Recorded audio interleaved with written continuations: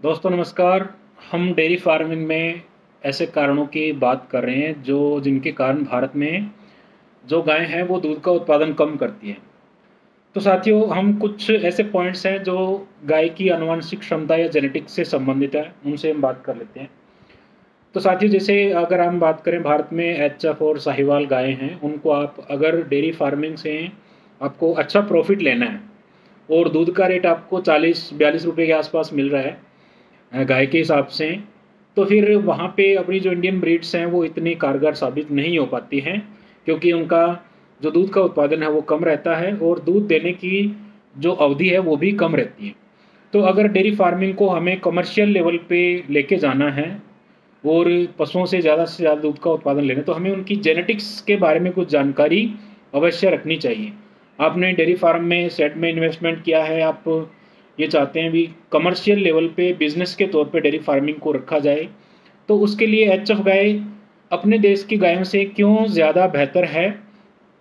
क्यों H F गाय का प्रति पशु दूध की उत्पादन की जो एवरेज है वो अपने पशुओं से ज़्यादा है? उस पर हम बात करेंगे।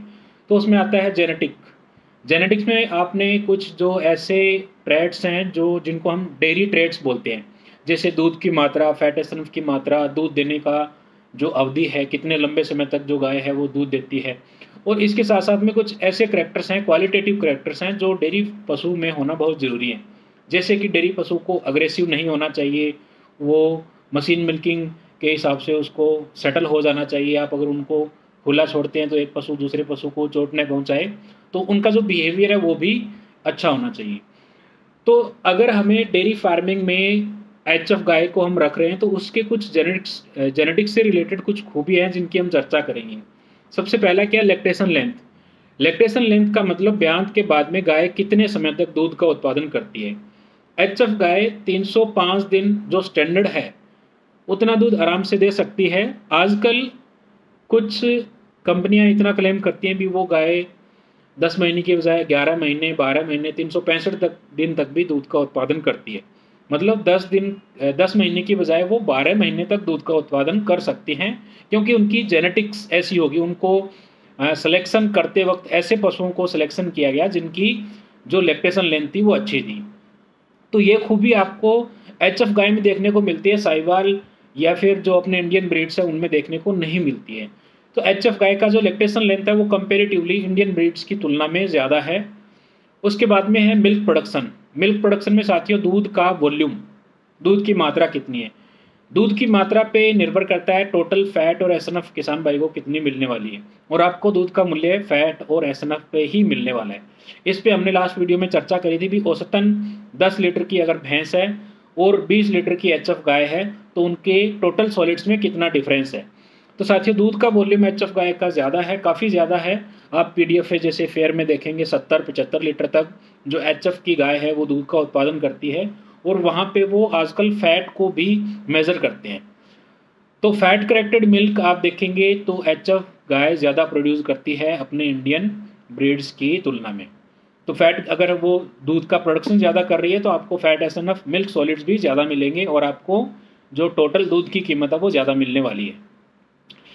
तीसरा साथियों परसिस्टेंसी परसिस्टेंसी का मतलब है कि किसी भी पशु को काविंग के बाद में या ब्यांत के बाद में जो दूध का वॉल्यूम एक टाइम के बाद में साठ, सत्तर दिन तक दूध का वॉल्यूम बढ़ता है, उसके बाद में धीरे धीरे दूध का वॉल्यूम है जो कम होता है।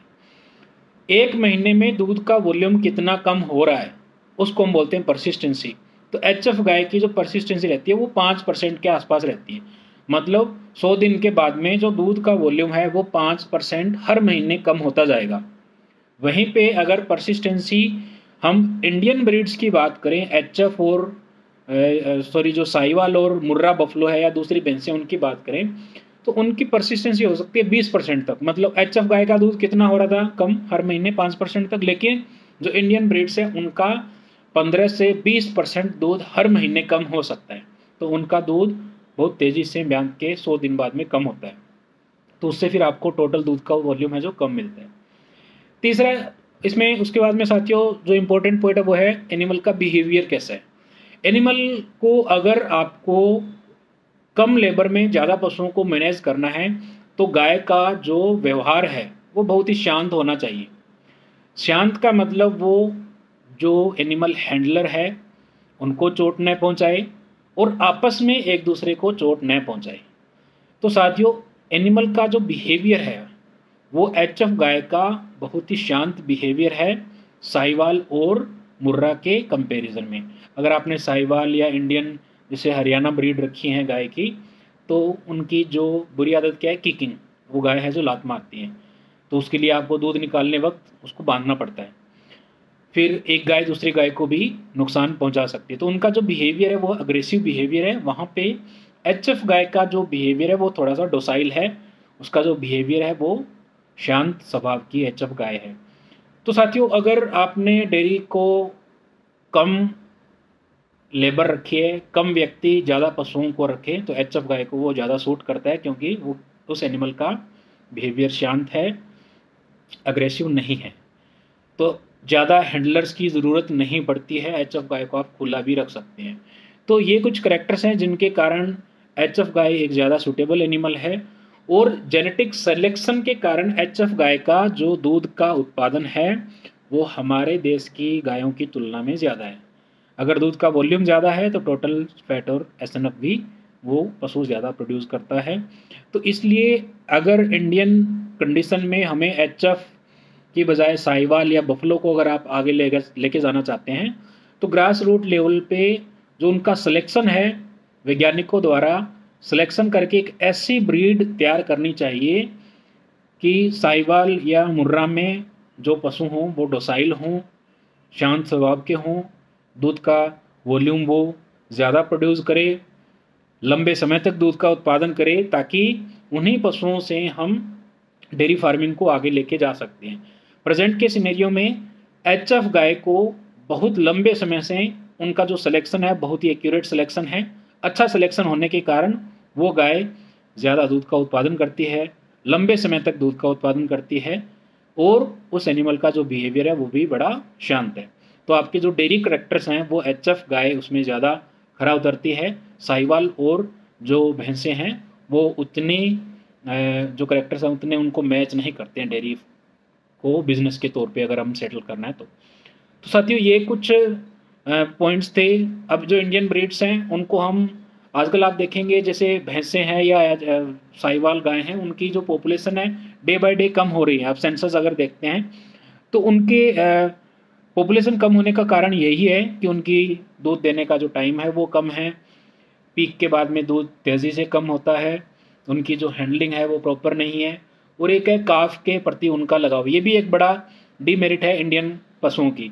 जैसे अगर भैंस है, भैंस में अगर उसका छोटा काफ उसके पास में नहीं रहेगा तो मिल्क लेट डाउन नहीं हो पाता है। साहिवाल में भी अगर उसका बच्चा आसपास नहीं है तो फिर वो दूध का लेट डाउन नहीं करती है। वो चीज़ें एच में नहीं है। एचएफ एनिमल का मिल्क प्रोडक्शन ज़्यादा रहता है हार्मोन के कारण, और वो एनिमल को काफ की ज़रूरत नहीं रहती है दूध देने के लिए, क्योंकि दूध का प्रोडक्शन ही इतना ज़्यादा है। तो ये एक बड़ा पॉजिटिव पॉइंट है एचएफ के हिसाब से, जो कि इंडियन ब्रीड्स में कहीं ना कहीं मिसिंग है। तो साथियों एनिमल का बिहेवियर दूध देने की क्षमता, दूध का volume total fat S N F H F गाय ज़्यादा प्रोड्यूस करती है। मैं किसी भी ब्रीड को डिमिन नहीं कर रहा हूँ या प्रमोट नहीं कर रहा हूँ, मैं जो साइंटिफिक बेसिस है, उस पर आप तक जो बातें हैं, वो पहुँचाने की कोशिश कर रहा हूँ। तो साथियों, अगर आप डेयरी फ़ार्मिंग प्लान कर रहे हैं तो इन सारे पॉइंट्स को आपको कंसिडर करना चाहिए। ताकि आप डेयरी फ़ार्मिंग में नुकसान आपको कम हो। और जैसे मैंने पिछले वीडियो में बताया था एच ऑफ़ गाय में इंडियन कंडीशन में जो टिक बोर्न डिजीज़ेज हैं वो ज़्यादा आती हैं। थोड़ा गर्मी में एच एफ़ गाय ज़्यादा परेशान होती हैं। उनको जो मैनेजमेंट है वो आपको परफेक्ट करना चाहिए। अगर ये सारी चीज़ें आप करते हैं तो एच एफ़ गाय आपके डेयरी फ़ार्मिंग के लिए बहुत सूटेबल है और आप डेयरी फ़ार्मिंग को लंबे समय तक आगे लेके जा सकते हैं। Thank you